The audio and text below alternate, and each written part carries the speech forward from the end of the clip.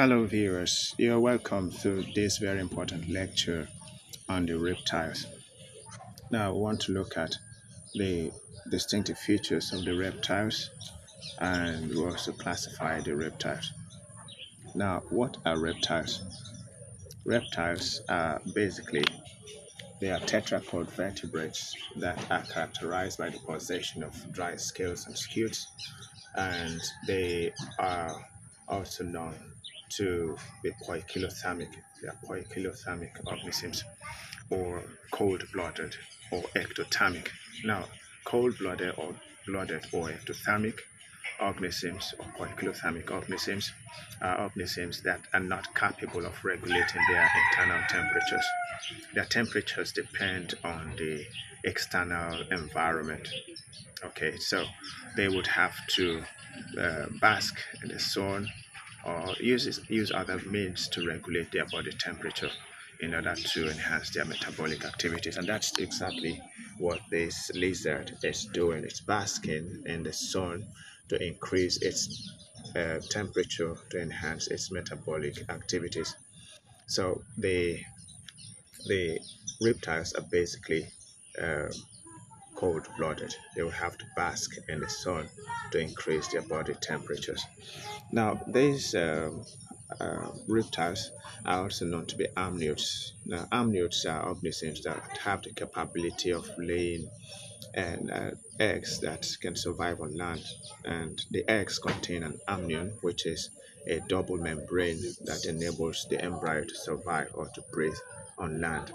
So the reptiles have an advancement over the amphibians in that they are able to lay their eggs on land, while the amphibians have to lay their eggs in the water. So their capability to exploit land uh, puts them at an advantage over the amphibians. The reptiles are known to be oviparous, that's they lay eggs. Though there are some ovoviviparous species, and some of the reptiles would have to uh, uh, carry their eggs within them, and the eggs hatch within them. And when they hatch, they now give birth to those ones, the young ones. Then some reptiles are also known to be viviparous. They give birth to live young ones. The reptiles carry out sexual reproduction.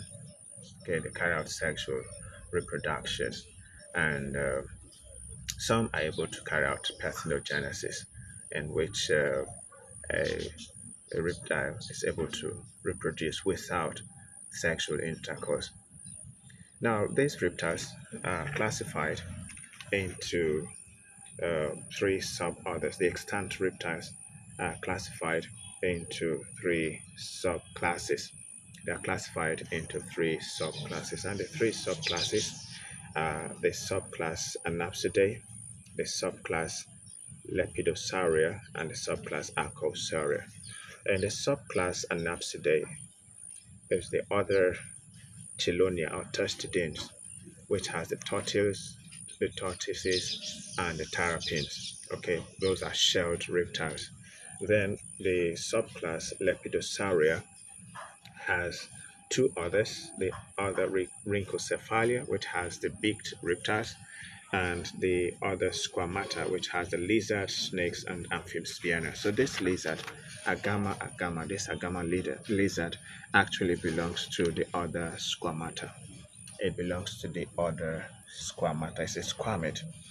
Then in the subclass Archosauria, we have the um, we have the crocodiles and the other crocodilia. Now, the this Agama lizard um, has some features we want to also appreciate. Now we have here uh, in the head, the head is reddish, it's a male Agama lizard.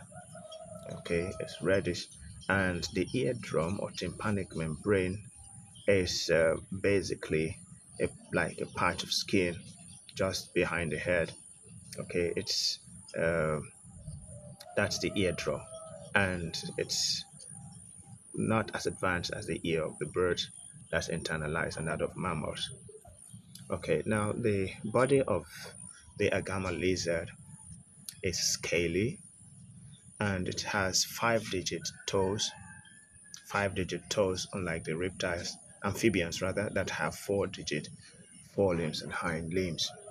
Then the uh, body of the reptile is divided into four parts the head, the head, the neck, the trunk, and the tail. The body of the reptile is divided into four parts the head, the neck, the trunk, and the tail. Thank you very much for watching this very important video on the reptiles, and I believe you've learned something from it. Please keep watching videos from my YouTube channel and my TikTok channel, and you will be glad you did. You'll learn a lot on in biology, and you'll be competent biologists. Thank you.